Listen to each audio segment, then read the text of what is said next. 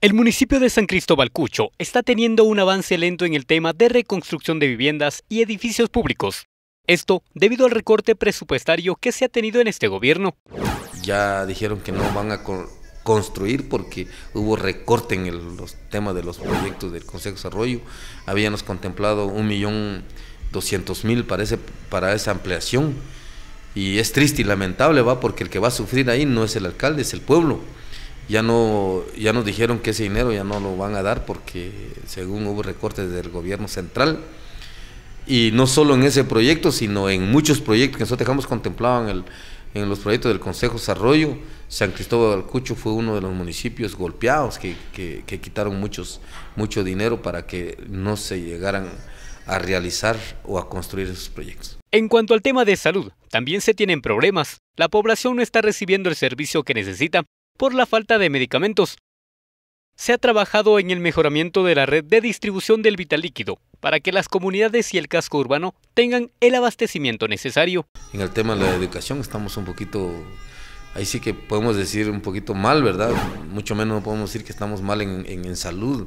Recuerden que tenemos nuestro puesto de salud nosotros acá eh, pues está, está mal porque no, no, tienen, no cuentan con medicina. Y también hasta el día de hoy tenemos votado dos, dos tanques, le llamamos nosotros acá, en otros lugares dicen presa eh, o distribución de, del agua.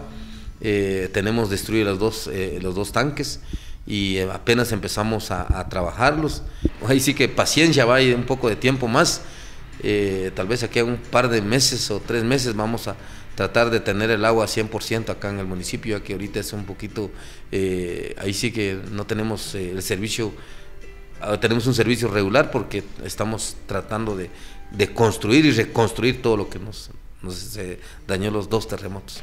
El jefe Edil mencionó que la población de este municipio se está organizando para hacer protestas en contra del gobierno central debido al mal estado de la carretera que conduce a la cabecera departamental que se encuentra en pésimas condiciones, tomarán las carreteras donde el comercio nacional e internacional se desplace. El pueblo de San Cristóbal Cucho va a salir a manifestar en carreteras internacionales como Pajapita y también a la salida de, la capital, porque eh, eh, este, yo creo que todo lo dejaron en papeles y en el olvido, pero a la gente aquí no se lo ha olvidado. Nosotros queremos que se llegue a realizar ese proyecto para seguir mejorando la, las vías de comunicación que tanto es importante para nosotros acá en el municipio. Imágenes de Luis Fuentes, reporta para 4 News, RJ Orozco.